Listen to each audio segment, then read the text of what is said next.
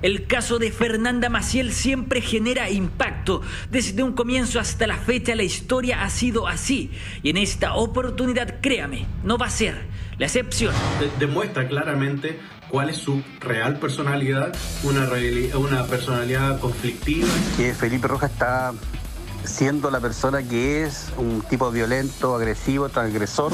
Demuestra que no tiene control de impulso, pasa de la pasividad a la violencia. Lo que vamos a contarle ahora lo va a sorprender. Una información de alto impacto. Su protagonista, nada más y nada menos que Felipe Rojas. El lugar, la cárcel de alta seguridad. Los hechos, un nuevo día de furia del único imputado por la muerte de Fernanda Maciel. Detalles de todo esto se los pasamos a contar en el siguiente informe. Que no es eh, una persona que pueda seguir reglas, que básicamente esa es la sanción, que el recibidor no sigue las reglas. La podría tener un poco más de dureza en las sanciones ante un recluso que que no está cumpliendo con las normas. Documentos con fecha del 4 de junio del 2020, es decir, hace tan solo unos días, dan cuenta de cómo habrían ocurrido los hechos. Todo habría comenzado cuando personal de gendarmería le entregaba su comida a Felipe Rojas, quien con actitud desafiante se habría negado a recibirla, señalando que no obedecería ningún tipo de instrucción por parte del alcaide de la cárcel. Esa es tan solo la primera parte de toda esta polémica historia. Todavía nos falta mucho más por contar.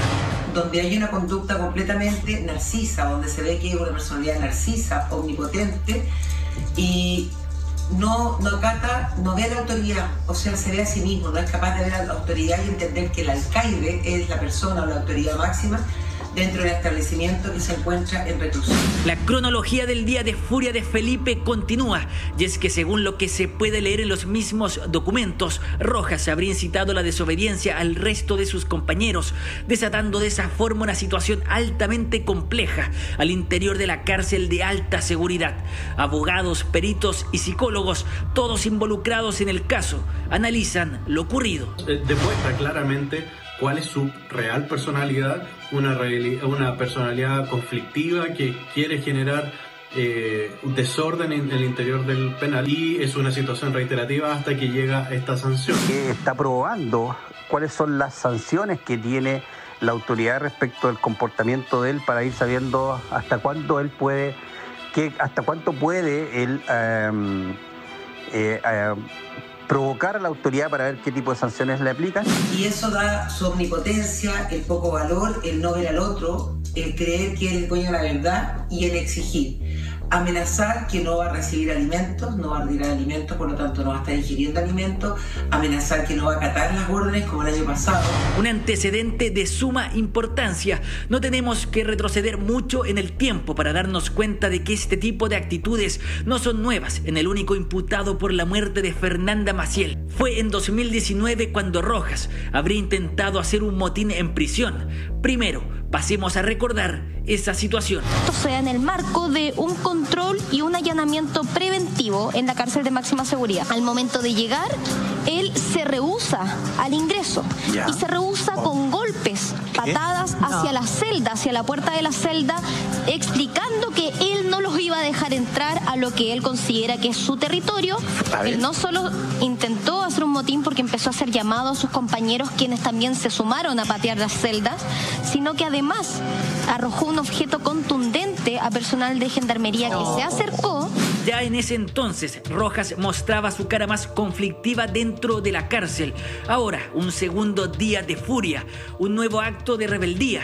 ¿Por qué cometería este tipo de indisciplinas? Las versiones de quienes han analizado el caso desde cerca son las siguientes.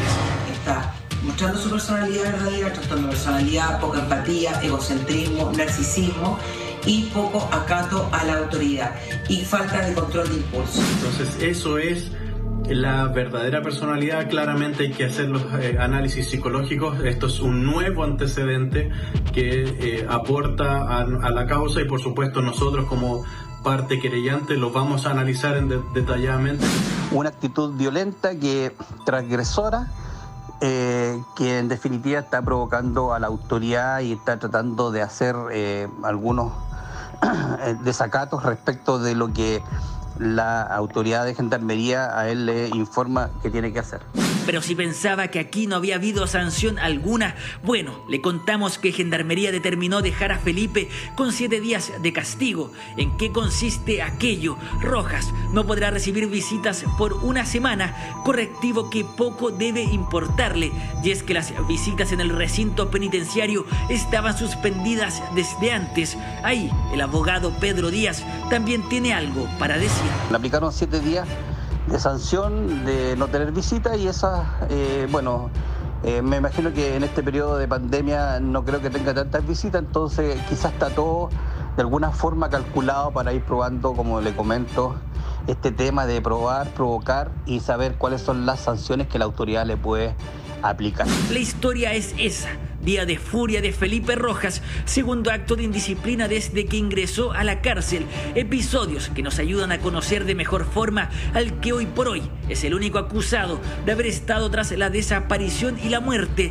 de Fernanda Maciel.